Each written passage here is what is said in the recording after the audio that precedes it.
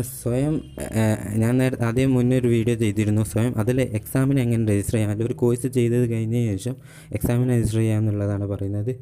Chrome പോയിട്ട് സ്വയം login അടിക്കുക. എന്നിട്ട് നിങ്ങളുടെ യൂസർ നെയിമും അതുപോലെ തന്നെ പാസ്വേഡും അടിച്ചു കൊടുക്കുക. ദെൻ അതിൽ കയറുക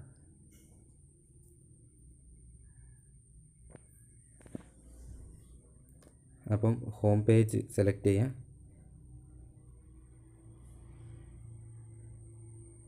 എന്നിട്ട് മേത്തലുള്ള മൂന്ന് ലൈന് ആ ബ്ലൂ ഇതിലുള്ള മൂന്ന് ലൈൻ സെലക്ട് ചെയ്തതിന് ശേഷം മൈക്കോയ്സ് സെലക്ട് ചെയ്യുക എന്നിട്ട് രജിസ്റ്റർ ഫോർ എക്സാം എന്നുള്ള പോർട്ടലിൽ ഒക്കെ എന്നിട്ട് ലോഗിൻ ചെയ്യുക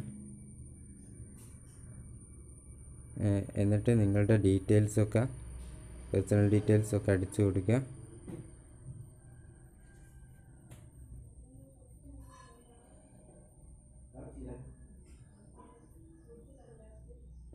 സർട്ടിഫിക്കറ്റിൽ എങ്ങനെയാണോ വരേണ്ടത് അടിച്ചു കൊടുക്കുക.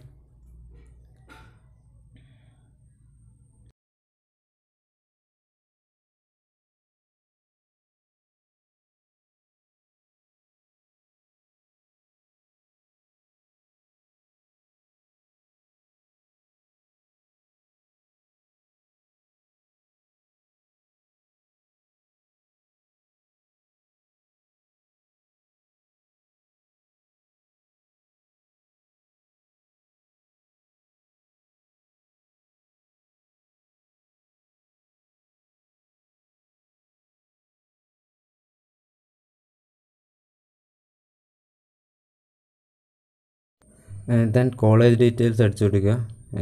കോളേജിന്റെ ഏതാ? ഡിസ്ട്രിക്റ്റ് അപ്പോൾ അതിൽ ഓട്ടോമാറ്റിക്കലി കോളേജിന്റെ വരും. അപ്പോൾ മുഹമ്മദ് അബ്ദുറഹിമാൻ പിന്നെ നിങ്ങൾ എവിടെ നിന്നാണ് ഇത് ഈ സ്വയത്തിനൊക്കെ അടുത്ത് കേട്ടത്? കോളേജിൽ നിന്ന് എന്തുകൊണ്ടാണ് ചെയ്യാൻ കാരണം? കോളേജിലത്തെ ടീച്ചർമാർ പറഞ്ഞതുകൊണ്ട് അതുപോലെ തന്നെ അതിൽ രണ്ടും യെസ് കൊടുക്കുക.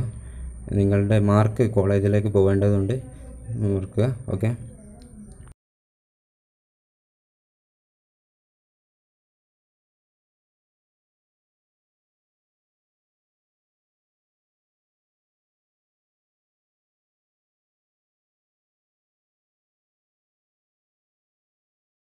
ഇതിന് ശേഷം ഏഹ്, ഇതിപ്പം എന്റെ അഡ്രസ്സ് അടിച്ചു.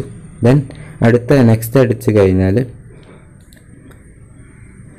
നെക്സ്റ്റ് ഓപ്ഷൻ കഴിഞ്ഞാൽ ഫോട്ടോയും സിഗ്നേച്ചറും അപ്ലോഡ് ചെയ്യേണ്ട ഓപ്ഷൻ വരും. ഫോട്ടോ അപ്ലോഡ് ചെയ്യുമ്പം അൻപത് കെ ബിന്റെയും നൂറ്റൻപത് കെ ബിന്റെ ഇടയിലായിരിക്കണം എന്നാണ് പറയുന്നത്. അപ്പം ഞാനൊരു ഫോട്ടോ എന്റെ ഫോട്ടോ എടുത്തിട്ട് ഓൾറെഡി ഗാലറിയിലുള്ള ഫോട്ടോ ചെയ്ത് വെക്കണം. നമ്മൾ ഇതിന്റെ മുന്നേ ചെയ്ത് വെക്കണം. ഞാനൊരു സൈനും സെലക്ട് ചെയ്ത് വെച്ചു. ദെൻ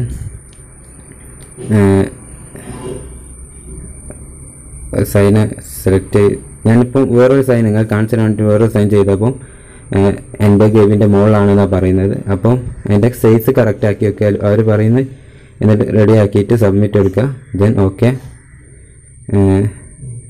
ഓക്കെ കൊടുക്കുക.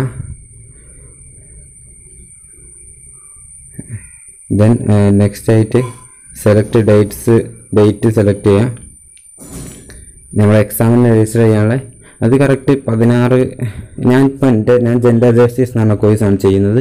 അതിന്റെ ഡേറ്റാണ് ഞാൻ എക്സാമിന്റെ രജിസ്ട്രേഷന്റെ ഡേറ്റാണ് കാണിക്കുന്നത്. അപ്പോൾ പതിനേഴ് സെലക്ട് മേ ബി പതിനേഴ് ഞാൻ സെലക്ട് ചെയ്യുകയാണെങ്കിൽ ഇവിടെ കാണിക്കുക. കോഴ്സ് കാണിച്ചു തരുന്നില്ല. അതുകൊണ്ട് ഞാൻ പതിനാറിനെ സെലക്ട് ചെയ്യേണ്ട അവസ്ഥ വന്ന്.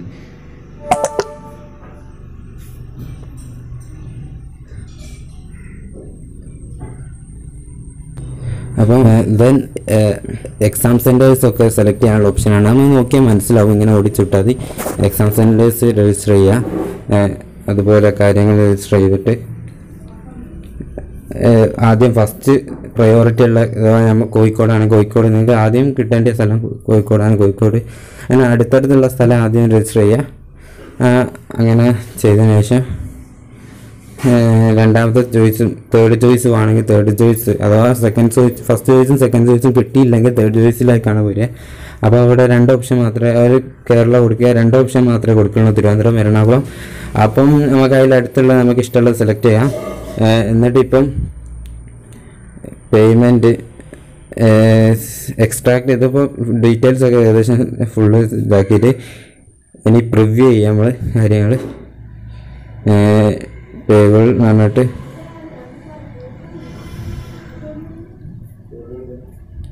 ജസ്റ്റ് എല്ലാ കാര്യങ്ങളും ജസ്റ്റ് വായിച്ചു എഗ്രി അവിടെ ഒരു ക്യാപ്പാച്ച് കൊടുത്തിട്ടുണ്ട്. ഒരു സം നമ്പർ രണ്ട് അഡിഷൻ ആണ്. നമ്മൾ കറക്റ്റ് കറക്റ്റായിട്ട് ആഡ് ചെയ്ത് കൊടുക്കാം. ദെൻ ഞാൻ കാര്യങ്ങളൊക്കെ ഡീറ്റെയിൽസ് വായിച്ചു നോക്കിയതിന് ശേഷം ഓക്കെ കൊടുക്കുക. ഫസ്റ്റ് ടൈം തന്നെ കൊടുത്താൽ ചിലപ്പോൾ ഒന്നുകൂടി ഓക്കെ ചോദിക്കും. രണ്ടാമത് തന്നെ കൊടുക്കാം. എന്നെ ദെൻ ബാങ്ക് നമുക്ക് പേയ്മെന്റ് കൊടുക്കാനുള്ള ഓപ്ഷനാണ് ഡെബിറ്റ് കാർഡ് ആണ് ഡെബിറ്റ് കാർഡ് യൂസ് ചെയ്തിട്ട് നിങ്ങൾക്ക് പേയ്മെന്റ് കൊടുക്കാം. നിങ്ങളുടെ എ ടി എം കാർഡിന്റെ നമ്പർ കാര്യം എ ടി എം കാർഡിലത്തെ അക്കൗണ്ട് നമ്പർ കാര്യങ്ങളൊക്കെ വെച്ചിട്ട് എ ടി എം കാർഡ് കയ്യിലുള്ളവർക്കാണ്. ബാക്കി ഇതിൽ ഡെബിറ്റ് കാർഡ് ക്ലിക്ക് ചെയ്യുമ്പോൾ കറക്റ്റായിട്ട് കാര്യങ്ങൾ മനസ്സിലാകും. ദെൻ ഡെബിറ്റ് കാർഡ് ക്ലിക്ക് ചെയ്താൽ അതിന്റെ ബാക്കിയായിട്ടുള്ള കാര്യങ്ങൾ പേയ്മെന്റ് റെഡിയായ പിന്നൊരു നമുക്ക് ഇമെയിൽ വരും. ഓക്കെ